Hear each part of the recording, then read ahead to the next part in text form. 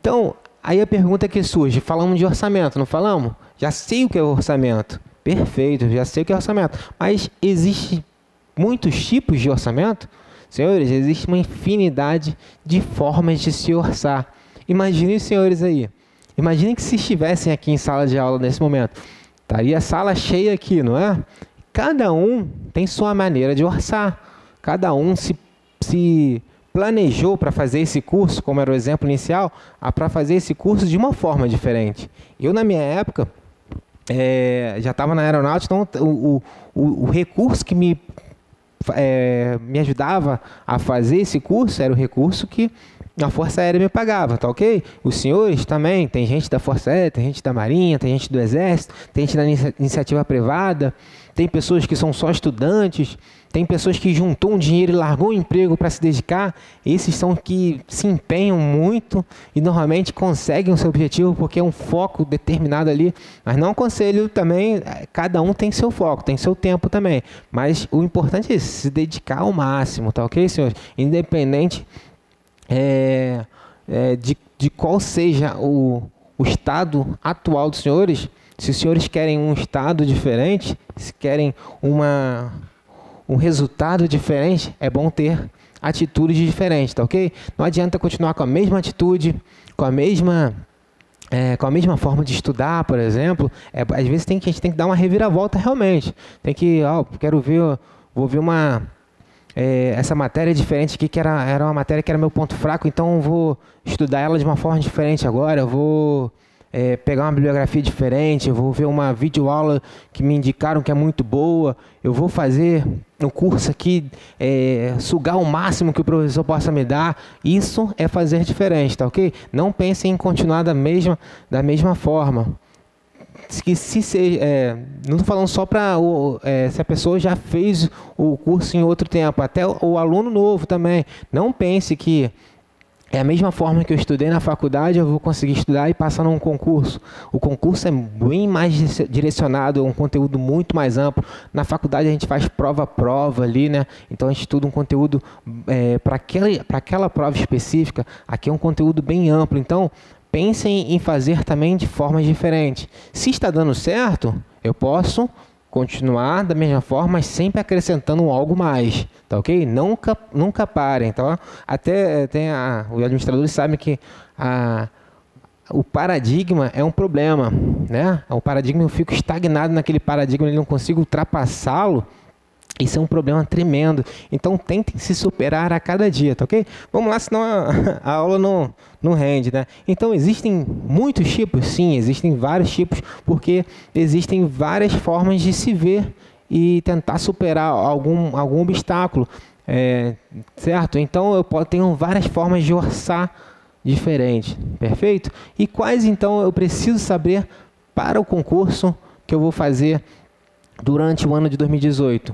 Bom, para todos esses concursos, eu preciso saber esses cinco tipos de orçamento que já me dão o, o conteúdo é, com certeza para os concursos. É o tradicional ou clássico, que era o que a gente utilizava antes, e desse, e desse tradicional clássico é, evoluiu para o moderno.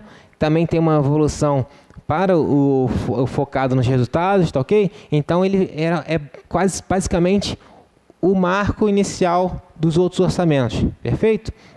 Temos o orçamento moderno, chamado também de programa, que é o orçamento que nós utilizamos hoje na contabilidade pública, certo? Do Brasil. Temos o base zero, perfeito? Que a gente vai explicar mais à frente, é, que seria todo ano eu fazer, eu partir da base zero, né? O nome dele já deixa bem claro aqui. Todo ano eu vou partir do zero para refazê-lo, perfeito? Temos o participativo que traria o cidadão para auxiliar nesse momento de, de orçar, de levantar os gastos e levantar as receitas, né? Quanto eu preciso para o, exercício seguinte. E temos o focado nos resultados Perfeito? Que, como eu disse, é uma evolução desse clássico aqui. Eu sabendo esses cinco aqui, eu já vou para o 10 na prova. Perfeito? Então vamos lá, vamos ver o primeiro deles. orçamento tradicional ou clássico. Eu já trago aqui o nosso autor, querido autor aqui, ó, James Giacomani. Os senhores vão se habituar sempre ver ele aí nos slides e vão se habituar também, porque os senhores vão estudar em casa ele, né? Vão ler, vão orelhar o livro lá, vão marcar tudinho, iluminar as partes importantes, vão saber de qual é salteado esse livro, né? Não só o livro, é importante que nessa matéria, principalmente de orçamento público, os senhores é, têm, de ir lá na lei também. Pegar a 4.320, imprime ela, rabisca ela. Constituição Federal também. Constituição Federal já é obrigação é, do brasileiro saber, né? A nossa, a nossa lei magna aí, nossa lei máxima, nossa lei magna. É, então é importante eu saber esse conceito. Aí no caso da prova aqui, vai só na parte de finanças públicas, depois você vê lá o artigo 5 lá, tá ok? Mas para a parte da, da prova, né, vamos, vamos focar no que a banca cobra. Perfeito? Então vamos lá, o que, que o Giacomani traz do clássico? É o meio de possibilitar os órgãos, então é o meio, é a forma, é, é o, é o, direcionamento que eu vou utilizar, né? Que vai me possibilitar, né? No caso aqui, os órgãos os órgãos aqui são, são lá os, os pedacinhos, lá, as instituições do, da União. É, vai ter, é, no caso da União, bota, vamos botar assim, o Ministério da, da Saúde, Ministério da Fazenda, é, Ministério da Defesa. Então, cada um desses órgãos e todos os órgãos que estão abaixo dele. Então, o meio é um, vamos lá desde o começo, é um meio, é uma forma, né? É um meio, uma forma de possibilitar os órgãos, que são esses componentes da administração pública, né, de representação de um controle político sobre o executivo. Opa, é um meio, é a forma de possibilitar os órgãos de representação de controle. Eu falei que eu falei no órgão no sentido geral, né? Aqui no caso ele está falando só dos órgãos de controle. Hum, então a palavra órgão no sentido solto seria cada pedacinho, cada instituição, cada órgão. Imagina um corpo humano. Tem lá o coração, tem o pulmão, os pulmões, estômago, todos os órgãos juntos fazem um corpo, não é? A mesma coisa na, na administração pública. Cada pedacinho do, da administração pública, cada ministério, cada secretaria, cada unidade orçamentária. O que, que é unidade orçamentária? Já trouxe um, uma palavra nova. Está falando de orçamento, né? Então, unidade orçamentária é aquela que está contemplada lá no orçamento. É aquela que vai receber recursos que estão no orçamento. Mas deixa isso para depois. Agora a gente não vai falar de, de unidade orçamentária, não. A gente está falando de órgão. Então, órgão é cada pedacinho da administração pública, não é? Então ele está falando de um órgão específico aqui, ó. É o meio que possibilita, possibilita aos órgãos de representação um controle, tá? Então são os órgãos de controle, ó. Órgãos, controle. Aí eu adianto para vocês, quem são esses órgãos de controle? A gente vai ver mais à frente quem exerce o controle no orçamento. Mas já vamos adiantar. Os órgãos de controle, no caso, quem controla o orçamento é esse sujeito aqui.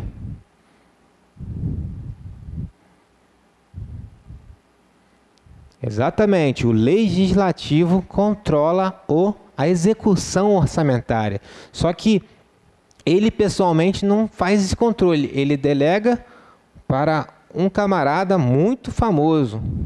No caso da União, é o TCU, que é o Tribunal de Contas da União. Então ele que vai ver se o orçamento está sendo executado da forma correta. Perfeito?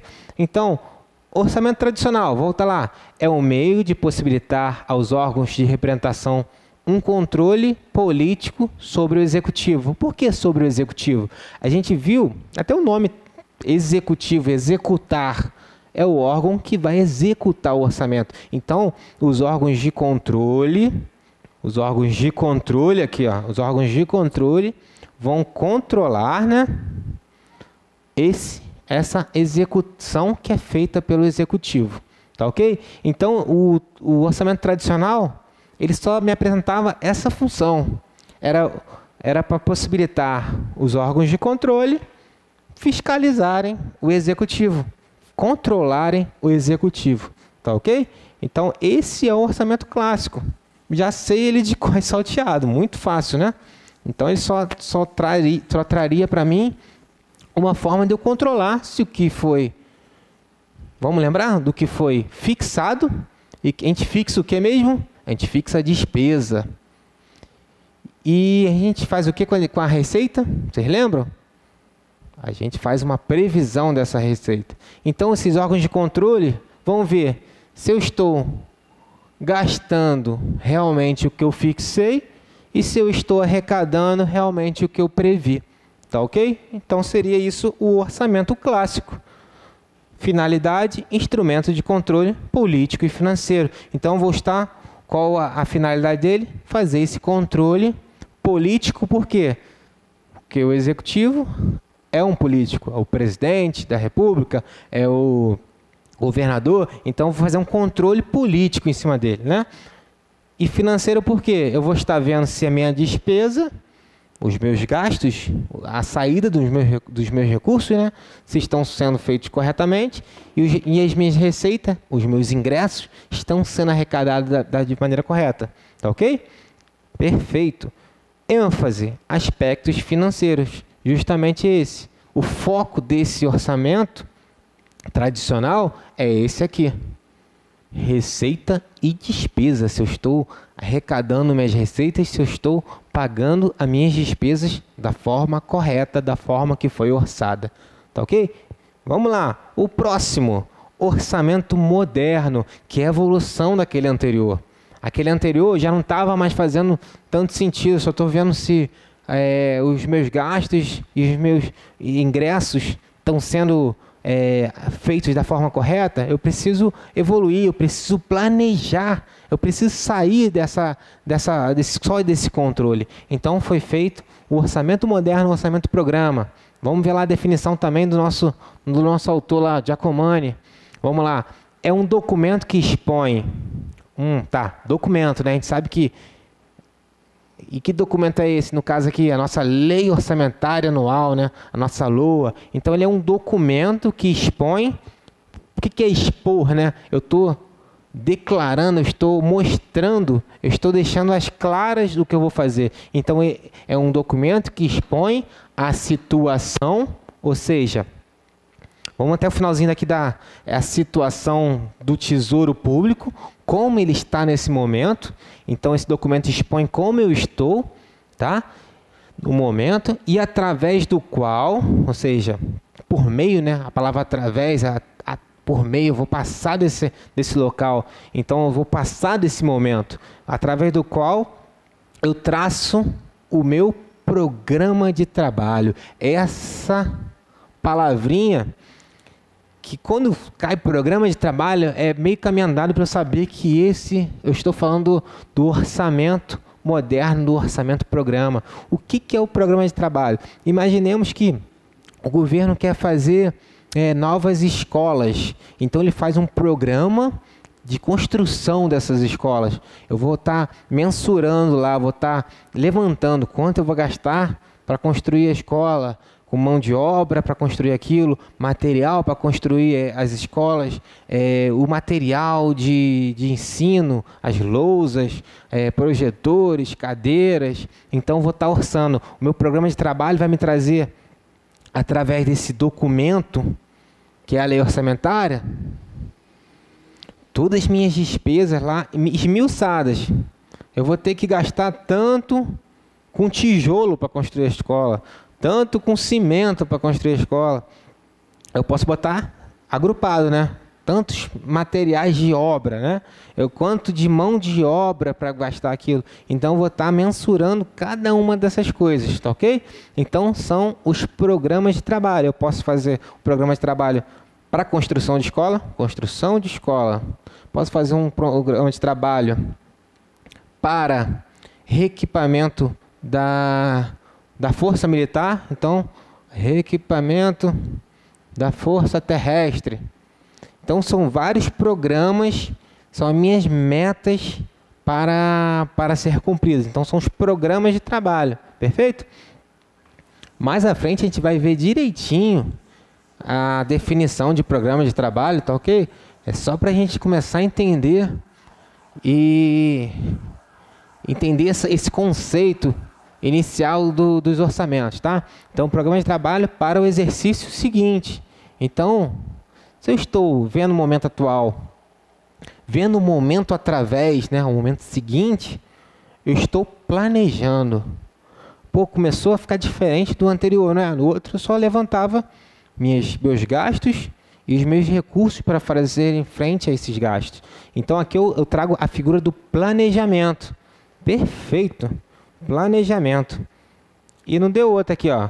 A finalidade dele, instrumento de gestão, instrumento de, de trabalho para gerir a máquina pública, tá ok? É o meu planejamento fazendo parte do meu orçamento. Os aspectos aqui financeiros e físicos. Eu não passo mais ver só a parte financeira. O que, que é essa parte financeira? Aqueles meus recursos arrecadados e as minhas despesas que serão gastas. Eu passo a ver também agora a parte física.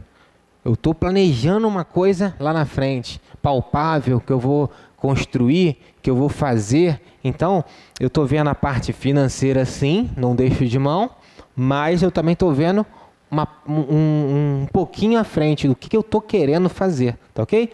Então é uma evolução trazendo planejamento para dentro do orçamento. Perfeito, meus amigos? Vamos lá, então já vimos já o tradicional e o programa. os três próximos agora vão ser mais dinâmicos, mais rápidos, porque não são os utilizados na nossa, na nossa república, né, no nosso país. Então, a gente pode é, mostrar como o autor traz, mas é bem mais, é bem menos cobrado em prova. Mas vamos lá, o base zero. O base zero, é, cada unidade da administração pública, cada ente da, da administração pública, todo ano, então a palavra-chave ali está até em, é, em vermelho, todo ano, quando da elaboração da sua proposta orçamentária, então todo ano que eu vou propor quanto eu vou gastar e quanto eu vou receber, eu vou fazer o quê? Justificar o quanto preciso. Eu vou ter que chegar do zero, vou zerar, ó, eu vou gastar isso. Mas por que isso? Por que é tão surpreendente isso?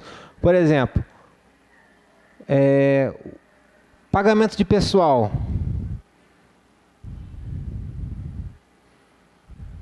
Opa. Pagamento do pessoal, folha de pagamento do pessoal. Tem novidade todo ano? Sim, pode ter sempre alguém ingressando, alguém saindo, certo? Mas, no geral, não, os funcionários, principalmente os públicos, não tem aquela estabilidade, eles não vão continuar. Então, qual o objetivo de eu todo ano justificar essa, é, essa folha de pagamento pormenorizada? Eu poderia justificar só os ingressos novos tá? Mas o, o grosso aqui da, do pagamento não precisaria justificar. Então o base zero ele não quer saber disso, ele quer todo ano que você justifique por que tem aqui, aquela, aquela folha de pagamento lá, tá ok? Então o base zero seria isso. Todo ano eu devo justificar o quanto preciso para e para que precisa determinado recurso, tá ok?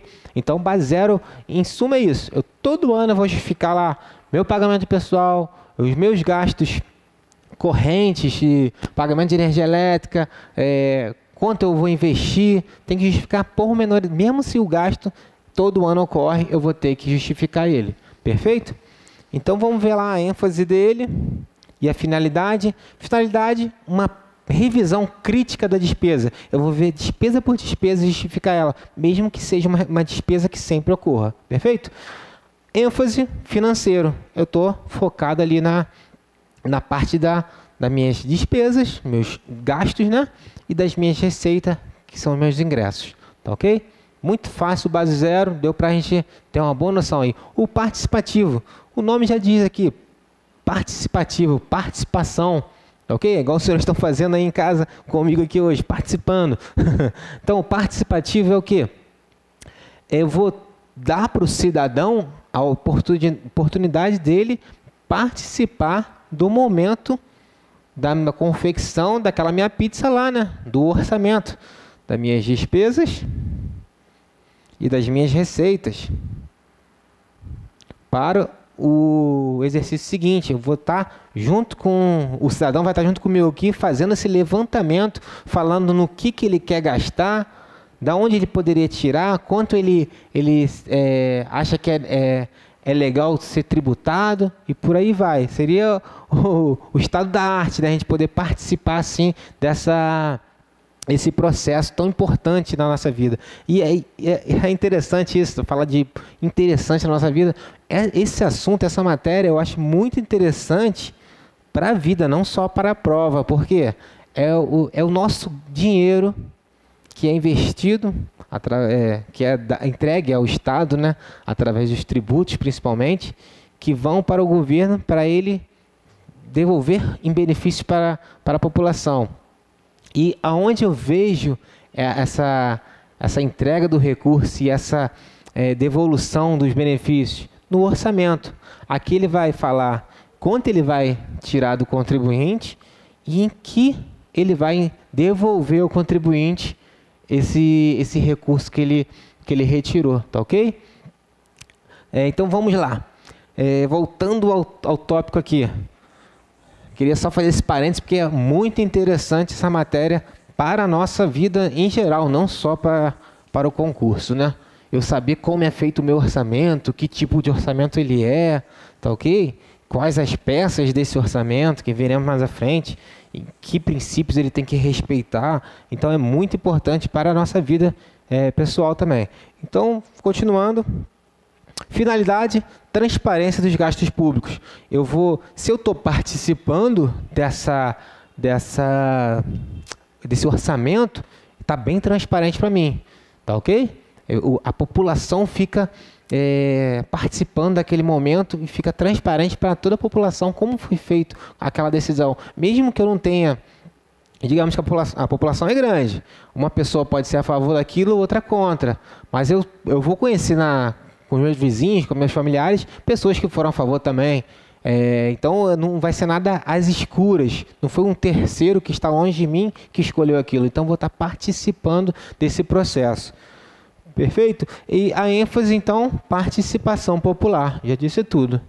É, esse tipo de orçamento normalmente é utilizado no orçamento que a gente vai ver mais na frente, um orçamento de investimento. Vai ser no caso, vai ser aqui no orçamento de investimento. O que, que é o orçamento de investimento? Eu vou estar tá, é, gerando um bem para um bem durável, digamos assim, vai ser um, uma construção de um hospital. Então eu consulto a população aonde ela quer que seja construído aquele hospital, de que quantos leitos deveriam ter. Então, é, normalmente ele é utilizado para o orçamento de investimentos. Perfeito? Vamos lá. Agora o próximo é, orçamento, orçamento focado nos resultados, certo? Esse orçamento, para os senhores terem uma ideia, é o orçamento utilizado pelo, pelos Estados Unidos, é um, onde esse orçamento ele necessita de uma economia mais estável, tá ok? Um planejamento mais apurado, tanto que ele visa atingir os objetivos é, planejados, tá ok? Esse é o orçamento focado nos resultados, certo? Então ele atingir o planejamento. Então o foco dele não está mais nem lá atrás, no, quanto ele vai arrecadar, quanto ele vai gastar. O foco dele é atingir o que foi planejado, certo? Então a finalidade entregar ao contribuinte, eu, você, todos nós, entregar a ele o resultado desejado. Que resultado desejado é esse? Aí depende, é uma saúde de, é, digna, de um, um, sistema de saúde digno, é, educação fundamental é, excelente, primária também, faculdade para todos. Então, eu vou ter o meu, meu, meu, meu planejamento e vou entregar, e vou focar nesse planejamento até entregar à sociedade esse, esse fim desejado, né? E a ênfase, então, é efetividade. Para administrador, essa palavra é mole, né? Efetividade. Mas vamos, então, nivelar nosso conhecimento? Vamos começar aí, ó. Uma palavrinha nova aí que a gente fica, às vezes, perdido. O administrador tá, tá, tá dominado a palavra efetividade. Mas vamos lá. Vou apagar aqui para a gente ter um quadro maior aqui. O que seria a efetividade? Vamos lá. Eu, antes de falar de efetividade, eu vou falar de outros dois, que é a eficiência, eficiência, opa, eficiência, a eficácia e assim, aí sim a efetividade.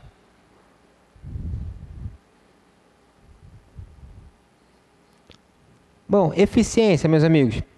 Se eu sou eficiente, a palavra, o que é uma pessoa eficiente? É aquela pessoa que consegue fazer o, a melhor coisa com o, menos, o, menor, o menor gasto possível. Então, a eficiência é fazer mais, não é? Gastando o quê? Menos.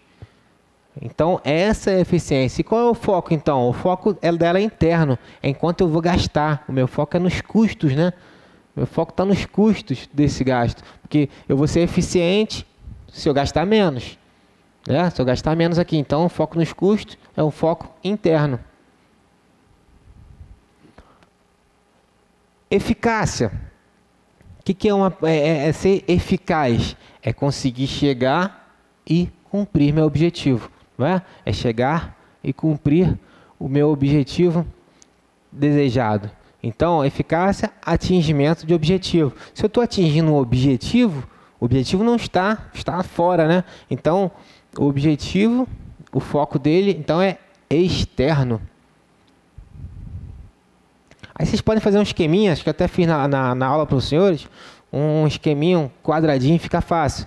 Tipo de, tipo de, de fato aqui, eficiência, eficácia e efetividade.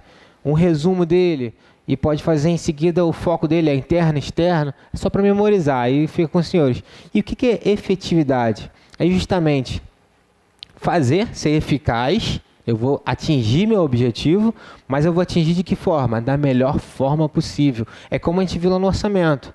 Eu vou estar tá vendo, vou tentar, tentar atingir o que eu planejei, mas eu vou atingir da melhor forma possível. Vou estar tá focado naquele planejamento. Então aqui não é só atingir o objetivo, e sim atingir da melhor forma possível. É o mais, mais, mais aqui. Eu vou atingir da melhor forma possível. E aqui eu estou pouco me importando para os gastos. Eu estou querendo atingir aquele objetivo da melhor forma, tá ok? Se eu atingir da melhor forma economizando, eu vou estar tá fazendo mais com menos. Então, você efetivo e você eficiente e, consequentemente, também eficaz porque eu atingi. Então, eu posso ser as três coisas ao mesmo tempo. Mas se eu só atingir da melhor forma possível, eu estou sendo efetivo, tá ok? E aqui, por eu estar atingindo o objetivo, meu foco também é externo, certo? Bom, já vimos então eficiente, eficaz e efetivo aqui.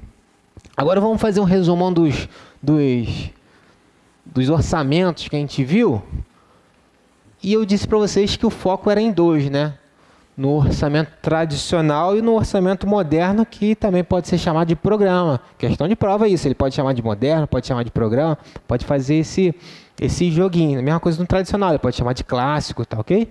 Então eu tenho lá o orçamento. Aqui o orçamento tradicional, né? Tenho o orçamento programa Vou botar resumido aqui: orçamento tradicional, orçamento programa, certo? Dois orçamentos aqui. Vamos botar uma cor diferente aqui para a gente ficar bem, bem massificado na cabeça. Aí eu vou ter aqui meus insumos. Vamos botar aqui um, um desenrolar, né? Os insumos. O que são os insumos? No caso do meu orçamento, os insumos, vamos ver que são as receitas e as despesas. Tá ok? Receita, meus ingressos e as despesas, meus dispêndios, meus gastos. Então, meus insumos, eu vou ter esse recurso aqui. O que, que eu... Opa, só O que, que eu vou fazer com ele? Vou botar outra cor também. O que, que eu vou fazer com ele aqui? Eu vou processar esses insumos para transformar eles num produto. Opa! Então eu tinha lá minha receita e minha despesa, processei ele, né? Que esse processo vai ser meu trabalho, o meu executar do, do orçamento. A gente vai ver que é a execução orçamentária, que já adianto para os senhores e eu acho que eu até mencionei também, o poder executivo que vai estar executando esse orçamento, né? Então, esse processo aqui é a minha execução orçamentária. E o que, que é esse meu produto? O produto é aquele programa meu, que, eu, que eu planejei, no caso do orçamento programa aqui, é aquele programa, por exemplo, de reequipamento das forças, da força terrestre, é, construções de novas escolas. Então, o meu programa é o produto que eu vou entregar à sociedade, perfeito? E o resultado.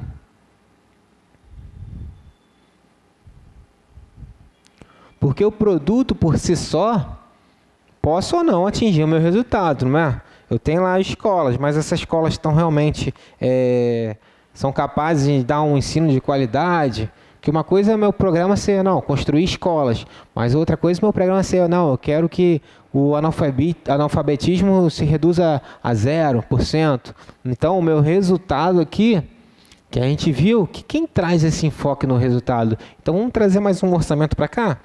Acho que tem mais. Você aí de casa já sabe, já até ouvi aqui. É o orçamento, então, focado, né? Tem foco. Foco no resultado. Ok. Perfeito aqui. Isso aqui é o nosso terceiro orçamento que a gente vai trazer aqui. Os outros dois, o base zero e o participativo, é, não vou trazer para cá porque o foco, na verdade, do concurso vai ser esse daqui. Então vamos lá nesse gráficozinho aqui. Então eu tenho lá orçamento tradicional, orçamento programa, me perdoem a letra, né? Tá horrível, mas e o orçamento focado lá com foco no resultado, tá ok? O que, que cada um vê nesse processo aqui, tá? Vamos lá. Vamos começar com o mais fácil. O tradicional, o que, que ele via? Você lembra? Ele fazia um, uma, um acompanhamento é, só do, do controle de, de, despesas e receitas, não é? Então, o foco dele, o, o que, que ele vê aqui, é justamente isso aqui. Tá ok? O programa. Se lembra que eu falei que ele vê a parte financeira, ou seja, os gastos e os ingressos, né? E também o nome dele já diz programa, ele está preocupado com o nosso produto aqui, que é o programa, né? Como eu falei antes. Esse produto aqui é o programa, né? Então, beleza. Então, o foco dele está aqui, mas ao mesmo tempo, ele vê aqui também, ó. Ele vê os insumos. Ó, beleza, hein? Já temos um, já um, um esquemazinho montado. E o foco no resultado?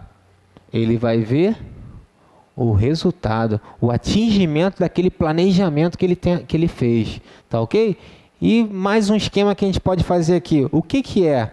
Pegar um insumo e transformar ele no produto, ou seja, eu é, atingi o meu objetivo, né? transformei o produto. O que, que é isso aqui? E o que, que é transformar o produto em resultado? Isso aqui é a eficácia.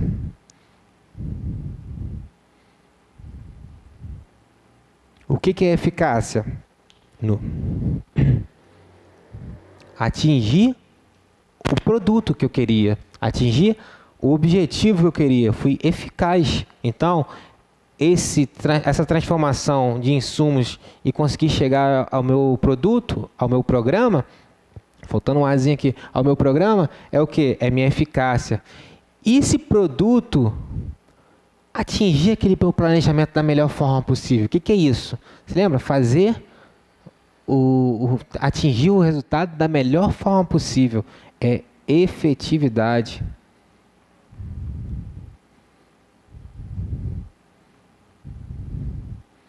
Ok, então esse é o esquema que eu posso montar. Deixa eu beber uma aguinha aqui. Então, beleza, efetividade. Pô, questão de prova, questão sobre esse tema que a gente viu agora. Vou deixar os senhores lendo aí dois minutinhos para a gente resolver. Enquanto isso, eu bebo uma água aqui. Essa é fácil, hein? Questão de contabilidade 2014, questão 53.